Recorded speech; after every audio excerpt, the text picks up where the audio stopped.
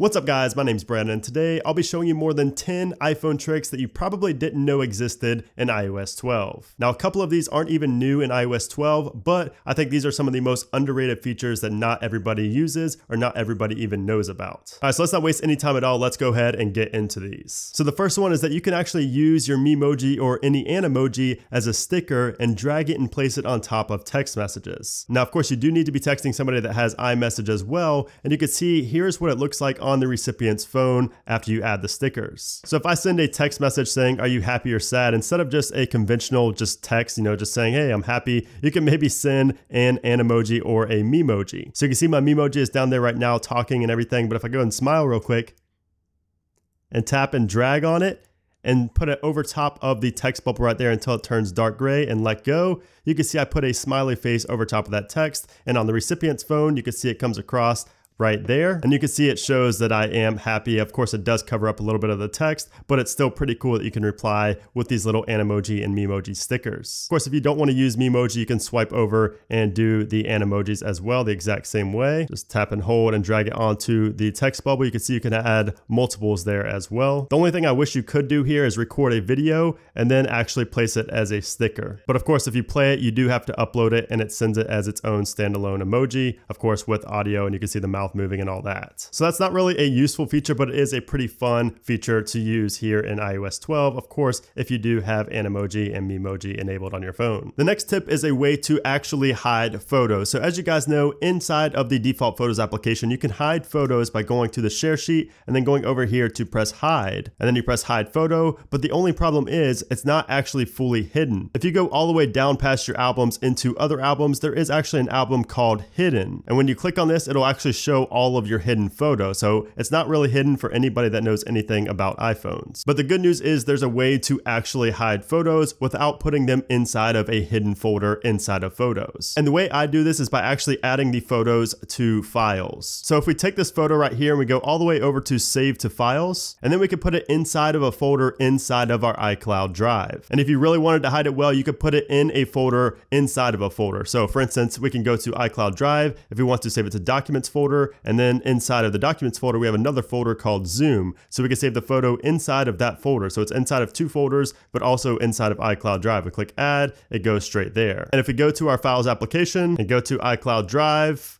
documents, zoom, you'll have the photo right there. And I think this is just a much better way to actually hide photos and videos because not a lot of people really think about the files application, especially people that don't know a ton about iPhones, like obviously me, you know, or somebody that's really, really into iOS and knows pretty much the ins and outs of it is going to eventually look inside of the files application. But most people will not look inside of the files application. They definitely will not go into multiple folders inside of the files application. So in my opinion, this is the best way to hide photos and videos videos on the iPhone. I should actually clarify that I think it's the best way to hide photos and videos without another application. Now the next tip applies to both iOS 12.1 and to newer devices like the iPhone XS, the XS Max, and the iPhone XR. And this trick is that you can actually change the depth of field before taking a photo. So of course you guys know with the new iPhone's portrait photos, you can now change the depth of field after taking the photo. But in iOS 12.1, you get a little f-stop button up in the top right. And if you tap on that, you can see you can adjust the depth of field before before you actually take the photo. So this is very cool and you can of course take it and then go back in and edit it afterwards as well if you want to, but it is pretty cool that you can change it beforehand as well. The next trick is that you can actually share links to photos and have them expire at a certain time when you share them. So for instance, I have a screenshot right here. If I go to the share button in the bottom left, scroll all the way down on the bottom to copy iCloud link,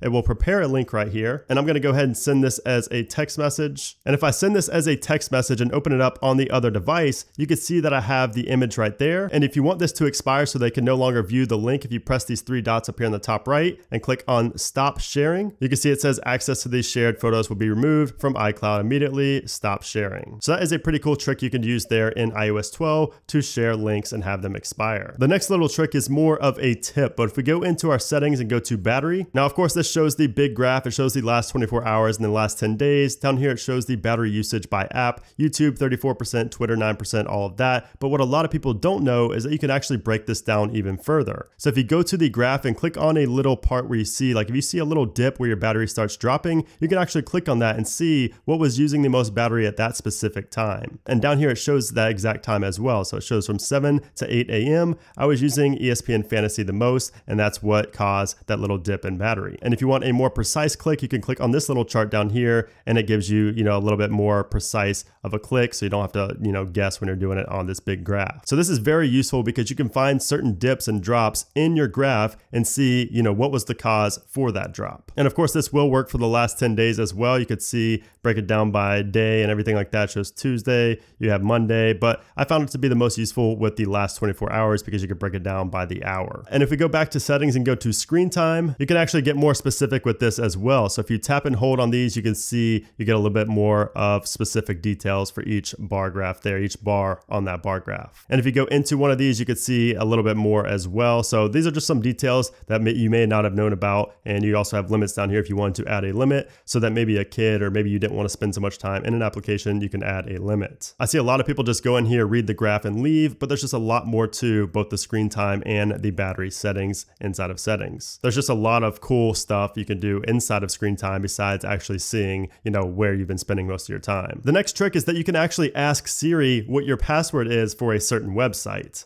What's my password for adobe.com?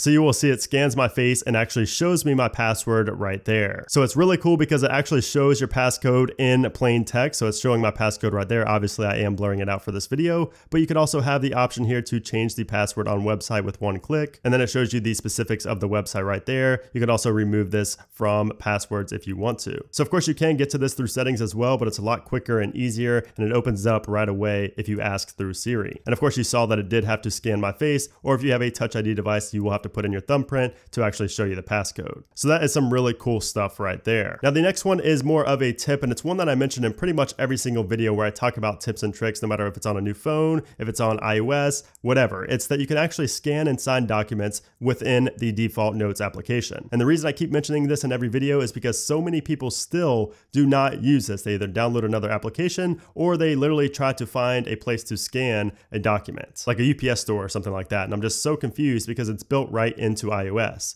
So if you go into Notes, click on the plus, scan documents, take a picture of the document, say that was the picture of the document, keep scan, save, and say this is our scanned document. If we click on it, click the share button up in the top right, go down in the bottom to markup, click the plus right here, you actually have a spot for signature. And you can see I already have my signature in there, but you can add one if you want right there. Take the signature, you put it wherever it needs to be to sign on the lines in your document. Once you've added the signature as many times as you need, click on done, click on share once again, and then you can create PDF, then click the share button in the bottom left, save to files, and then you could save it to your iCloud Drive or just to your phone or whatever, and you have a signed document in PDF format on your phone, quick and easy, straight from your phone. You don't have to go to the UPS store, you don't have to download any kind of other application. It's built right in and it works great. Now, the next little trick is inside of Control Center. So if we go to Control Center, customize controls, there's one down here called hearing. And this is actually a feature called live listen. So you can see it's down here. If we go and tap on that, and I'm gonna pull my AirPods out over here, take them out of the case. I'm gonna go ahead and put them in my ears. And you can see now live listen changed to off if we go and tap on it to turn it on. It's very distracting if I do it on video, but basically what it allows you to do is act as a hearing aid or you can spy on people. It basically just enhances the sound like it's a hearing aid. So if somebody's saying something from far away and you can't really hear them, if you put your AirPods in and turn on this feature live listen, you'll be able to hear them a lot clearer. So this is extremely useful, especially for older people who have hearing aids. This could actually be an alternative to hearing aids. Now I can't confirm if it's actually as good as hearing aids. I doubt it really is, but it's still a really cool step forward. It's a really cool feature that Apple offers if you do have AirPods. The next tip is very useful if you have two-factor authentication enabled. So I'm gonna go ahead and sign out of my account real quick. So I'm about to log into my Twitter, but I do have two-factor authentication enabled. So after I enter my passcode, I'm still gonna have to enter that other code that I get sent as a text message message. And with iOS 12, you don't even need to go to the messages application to actually get that code. So let me show you what I'm talking about. So let's click on login. You can see it will send a code and look right here, it shows from messages and it shows the code. Just tap that, submit, and you're done. You're logged in. That is extremely useful and a feature I really never knew that I needed until iOS 12. And by the way, just a side note, if you don't have two-factor authentication enabled for anything, make sure you do that. In today's day and age, you're really never safe with passwords online. The next little tip is that you can actually type to Siri. So say you're in a loud place or if you're just in a place that's really quiet and you don't want to talk really loud, you can actually access Siri by typing. So if you go to our settings, go to general, accessibility, go down to Siri, and then you have type to Siri, a toggle for type to Siri right there. So now if we go ahead and invoke Siri, you can see it automatically just as you type something instead of say something. So if I just type hello, you can see it says hello Brandon back. So like I said, this is super useful if you're either in a loud place where Siri won't be able to understand you, or if you're in a quiet place and you don't want everybody in the building to hear you talking to your phone. And the next trick has to do with Siri shortcuts. So basically, I can't say all of these in one video, but there are just so many tricks that you never thought would be possible on an iPhone that you can do here with Siri shortcuts. You can literally download videos from YouTube, you can download pictures from Instagram all in a tap, you can convert burst photos to a GIF, convert videos to a GIF. You could turn things on and off. You can automate everything on your phone with Siri shortcuts. And this is still somehow a very underutilized, underused feature in iOS 12. And if you want to learn how to create Siri shortcuts, I actually have a series on this. So make sure you check that out in the cards right now. It's also down in the description below. It's very informative and shows you basically how to use Siri shortcuts and also what all of the advanced little functions inside of shortcuts mean. I did also make a video on my top 15 Siri shortcuts, so you can watch that. That's also up in the cards and down in the description below. That's a good one to watch if you just want to import all of my shortcuts and if you don't want to build them yourself. But if we go into one of these and click on the share and click on copy iCloud link, this is how you can actually send this to somebody and they can import it into their shortcuts app. So for instance, if I send that inside of a message, you can see it shows up like that. And then I get it like this over here on my other iPhone. If I go ahead and tap on that, it will take me straight to the shortcuts application and you can click on get shortcut to add it to your library. So it's really cool that you're able to do that with shortcuts. And just another very random bonus tip that a lot of people don't know about is that when you actually turn your phone off and turn it back on, you simply only have to tap on the power button instead of hold it to turn it back on. So you can see I have my iPhone 8 Plus here on the right and it is currently off. If I go ahead and tap on the power button just once, you can see it starts booting up just like that. You don't have to sit there and hold it until you see the Apple logo. All that's gonna do is wear down your side button or your power button. I still see people out there that sit there and hold the power button all the way until it gets to the lock screen and it just really doesn't make any sense and it's, you know, a lot harder on you. It's just a lot simpler to just tap on the power button and that's all it takes to boot your phone up. So there you have it guys. Those are some hidden iPhone tips and tricks that you may not have known about that you can use here in iOS 12. I hope you guys did learn something new from this video. If you did, make sure to hit that thumbs up button. I do also have another part to this series coming. I couldn't share all of the super useful ones in this video because I do have another part to this video. But if you did enjoy this, I would really appreciate a thumbs up and also make sure to subscribe so you don't miss that next episode and a lot of other useful iOS tutorials. But anyways, guys, thanks again for watching and I'll see you soon.